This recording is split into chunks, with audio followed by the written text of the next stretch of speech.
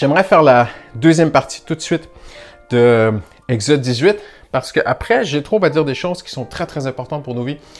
Il va dire à Moïse, ce que tu fais n'est pas bien, donc tu es mal organisé et tu vas te fatiguer, tu vas fatiguer le peuple. Euh, il y a ici les bases de bien réussir notre travail que ce soit ton travail professionnel, que ce soit ton ministère dans l'Église, que ce soit ta, vie familiale, de couple et tout ça, euh, il faut que nous ayons l'esprit ouvert à revoir notre méthodologie de travail et notre façon de nous organiser. Et Moïse était prêt à cela. on parle d'un homme qui a 80 ans là, donc euh, j'imagine que son beau-père, en plus, j'ai trouvé était encore plus âgé que lui. Euh, donc Moïse a, 80 ans et il est prêt à revoir sa façon de travailler. Est-ce que tu es prêt? Ou est-ce que tu es trop âgé, ou est-ce que tu es trop endurci, ou est-ce que tu es trop convaincu, ou trop entêté, trop étroit d'esprit. On dit narrow-minded, euh, ou est-ce que Dieu peut remettre en cause ta façon de travailler? On dit souvent que l'Église est méta. Le mot méta aussi signifie euh, en transformation, en évolution. Euh, Dieu veut bâtir son Église, mais il l'a bâti tantôt d'une façon, tantôt d'une autre. Les, façons peuvent changer. Et on doit s'ajuster au fonctionnement de Dieu. Dieu j'ai pas vu deux fois dans la Bible où Dieu agit de la même façon. Euh, Dieu nous surprend et tout ça. Donc, euh, est-ce que je suis ouvert? Est-ce que tu es ouvert? Est-ce que nous sommes ouverts? Est-ce que Dieu euh, change nos façons de travailler? Et Moïse l'était. Et j'ai trop lui dit, ta façon de faire n'est pas bonne. Et, là, il va, lui dire pourquoi. Et, on sait qu'il va nous aider à diagnostiquer dans quelles circonstances est-ce qu'on doit se remettre en cause et il lui dit, tu vas te fatiguer et fatiguer le peuple. Et je pense que lorsqu'il y a une fatigue qui est récurrente, qui est persistante, qui est là, c'est peut-être une fatigue mentale, une démotivation, on n'a plus la pêche de servir Dieu, on n'a plus la il n'y a plus ce premier amour peut-être dans ton couple ou dans le service de l'Église ou même dans ta profession. Euh, quand il y a quelque chose qui, qui, qui pas toujours une fatigue physique. Souvent, la fatigue physique suit la fatigue mentale.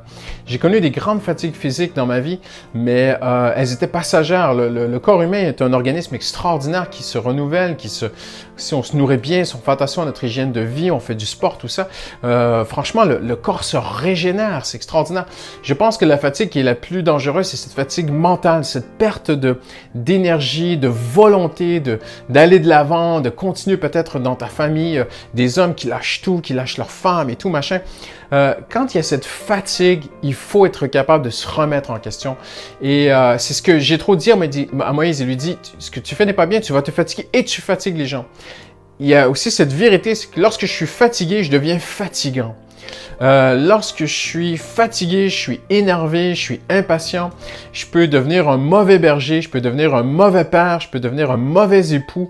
Euh, j'ai besoin de repos. Il n'y a pas de Superman. Dieu n'a jamais demandé à qui que ce soit d'être Superman.